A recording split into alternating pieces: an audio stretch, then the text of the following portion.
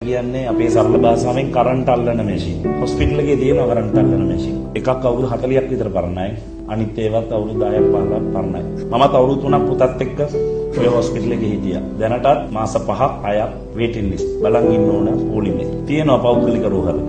අද ගියා නම් හෙට කරගන්න පුළුවන්.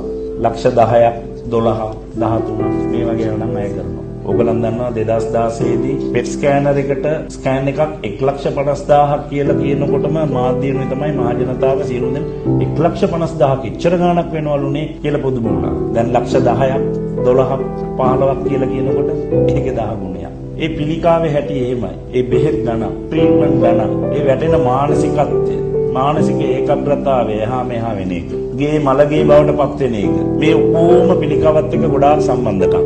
අපිට අපේ කණ්ඩායමට මේ රෝහලට සමාජිකයන් 240 දෙනෙක් ඉන්නවා දැන් 175ක්ම පවුලේම ළඟම කෙනෙක් පිළිකාවට උදුරු වෙච්ච සමාජිකයන් තමයි ගොඩක් ඉන්නේ. පිළිකා රෝගීන් ඉන්නවා මේ කණ්ඩායම. මම හිතන්නේ ලංකාවේ ඉන්න පිළිකාවත් එක්ක සටන් කරන බලගතුම කණ්ඩායම අපේ කණ්ඩායම.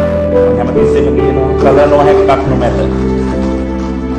අවුරුදු දෙකක් ඇතුළත මීටින් 230ක් තියලා තියෙනවා. මොකද ලක්ෂයකට වැඩි අහිංසක පිළිකා රෝගීන් ඉන්නවා. හොඳ හොස්පිටල් එක මම කවදාවත් මේ හොස්පිටල් එකේ අඩුපාඩු කියන්නේ නැහැ. ඉන්න වෛද්‍යවරු ගැන කවදාවත් අඩුපාඩු කියන්නේ නැහැ. සේවක මඩුල්ල කවදාවත් අඩුපාඩු කියන්නේ නැහැ. රජයටත් අඩුපාඩු කියන්නේ හැම දෙයක්ම අපිට රජයන්ගෙන් බලාපොරොත්තු වෙන්න බෑ. කරනවා ගරු ඇමෙතුමාවෙන් පස්සේ ලක්ෂ 15ක් කියලා ඒ සීමාව ඒ කතැල්ල දැම්ම. සමහර රෝගීන්ට ලක්ෂ 200 300 500 වීදම් කරනවා රජයෙන්. සාමාන්‍ය බයිපාස් එකක් කරන්නනේ ලොකුම වියදමක් වෙනවා කියලා අපි හිතන් ඉන්නේ නැහැ. මොකද පිළිකාවේ බෙහෙත් එච්චර ගණන්. බිලියන ගණන් මේ වෙන් කරනවා පිළිකා අපේක්ෂා රෝහල වෙනුවෙන් පිළිකා වෙනුවෙන් රජයෙන්. ඒ ඔක්කොම මම දන්නවා ස්ටැටික්ස් තියෙනවා. තව චුට්ටයි කරගන්න තියෙන්නේ. අපි හොයාගත්ත ඒකේ නියතය, ඒකේ සූත්‍රය. මොකද්ද නියතය? දැන් උදාහරණයක් ඇටියට අපේ මේ ව්‍යාපෘතිය කෝටි 100යි 1 බිලියන්. කෝටි දෙකක් මහ ජනතාවේ ඉන්නවා. එක්කෙනෙක් රුපියල් 50ක් දැම්මා නම් කෝටි 100 මැෂින් දෙක ගෙනාවා නම් දුප්පත් අහිංසක පිළිකා රෝගියෙක් නිරපරාධයෙන් මැරිලා යන එක අපිට නවත්තන්න පුළුවන්. ලොකුම පින ඕන නැති දේවල් වලට අපි කොච්චර සල්ලි වියදම් කරනවා. මේ එක එක දෙයයි කිව්වේ අවුරුදු දෙකක් තිස්සේ අපි පෙට් පෙට් පෙට් පෙට් ගගා හිටියා. ඒක දෙයියනේ කියලා අපි හදලා දැන් මාසෙකට සාමාන්‍ය මම හිතන හැටියට 100ක් විතර පෙට් ගහනවා. අපි මේ මහ පොළොවට ණයයි. අපි සමාජයට ණයයි. කොහොමද මේ ණය ගෙවන්නේ? හැමෝටම ප්‍රශ්න තියෙනවා. ප්‍රශ්න නැති එක්කෙනෙක් නැතුව ඇති මේ මුළු ලෝකෙම.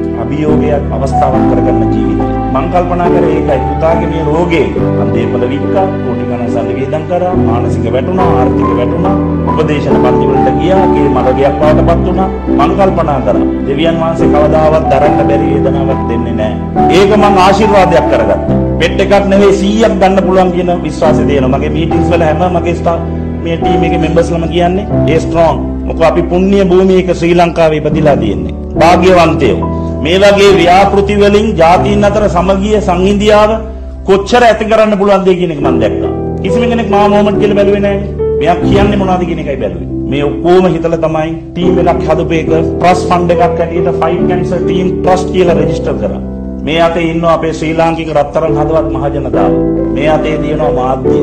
පෙට් මැෂින් එක BMI සීට් එක මේ වගේම ලොන්ච් කරනකොට මම කිව්වා මේක අවුරුද්දක් ඇතුළත අපි මේක ඉවර කරනවා කියලා. හැබැයි අපිට මාස තුනෙන් ඒ සල්ලි ටික එකතු වුණා. මේකටත් මම කියන්නේ අපි අවුරුද්දකට බලන් ඉන්න බෑ මොකෝ හැම දවසටම හැම පැයටම අපිට ජීවිතයක් බේර ගන්න පුළුවන්. අද ලෝකයේ තියෙන අති තාක්ෂණ අති නවීන මේ වගේ ට්‍රීට්මන්ට් මේ අපේ ලංකාවේ දුප්පත් මිනිසුන්ගේ ජීවිත 10000 ගණනක් බේර ගන්න පුළුවන්. පෙට් එකෙන් හඳුනා ගන්නවා මේකෙන් සනීප කරනවා. දැන් අපි ඒක කරා දැන් මේක කරන්න සර්ජරි එක තව සෙක්ෂන් එකක් කියුමොതെරපි තව සෙක්ෂන් එකක්. මේක හරියට කරන්න. දක්ෂ වෛද්‍යවරු අති දක්ෂයෝ ඉන්නවා. හොඳ බැට් බෝල දෙන්න ඕන සෙල්ලම් කරන්න. එහෙම නේද ડોක්ටර් රෂා පණිවිඩය ගෙනියන්න ලෑස්ති මිනිස්සු මේ වගේ ව්‍යාපෘති වලට හදවතින් උදව් කරන්න.